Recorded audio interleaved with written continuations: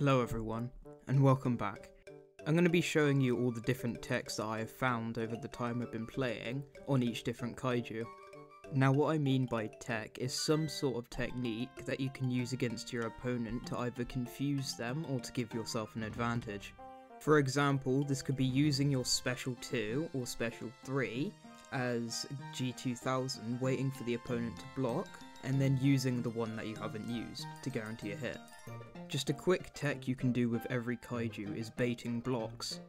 Now what I mean by this is doing a specific attack to force or bait your opponent to block, and then follow up with another attack once they stop blocking to guarantee a hit.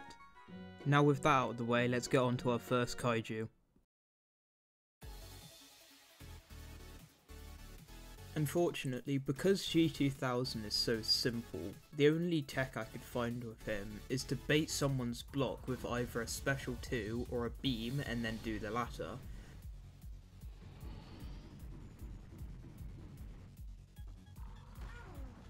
You can also do this to bait out someone's block so you can do an ultimate.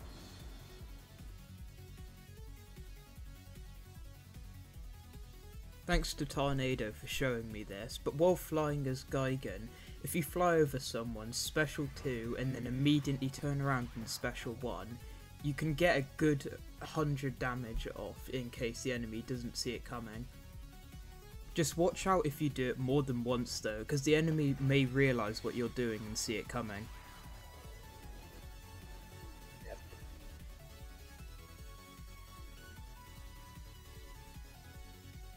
A nice trick you can do is to special 1, wait for your opponent to block it, and then immediately special 3 or special 2. If they continue to block, then special 3, if they react quick enough and stop blocking, then special 2. Either way, you're getting a free combo unless they manage to roar in time. For Zilla, you can bait out someone to block by beaming them, and then once they stop, immediately dive bomb them for a free combo.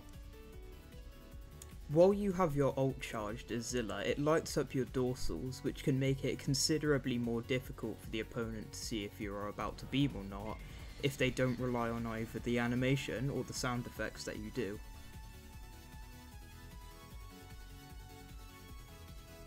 A block bait that you can do with Siren is to do your beam, wait for them to unblock, and then immediately do your special one to guarantee a hit.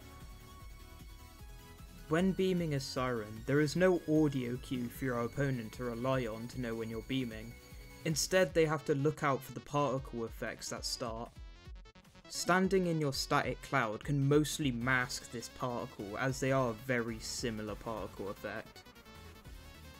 Another small trick you can do is to use the momentum of your special 2 to be able to bounce off of certain objects around the map. This can include the dice in Dice Park or certain bits of terrain that slope upwards. While beaming, if you walk closer and closer to your enemy while they're blocking, if you're able to get close enough, you may be able to special one them.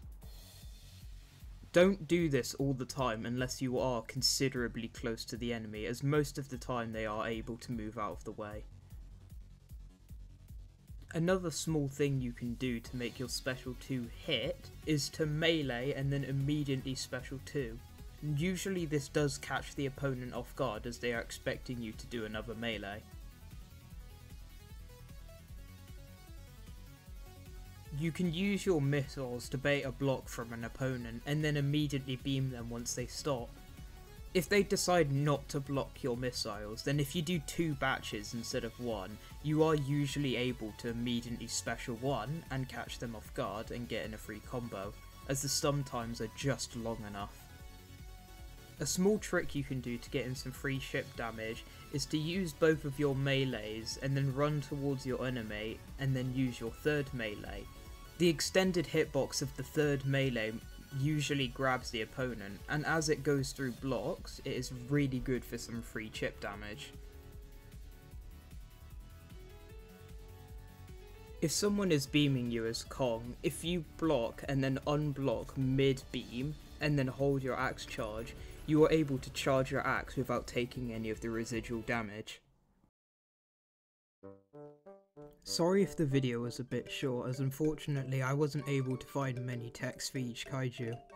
If I find any more, I most likely update this video so it stays consistent with the latest patch. But anyways, that's the end of the video now. Goodbye.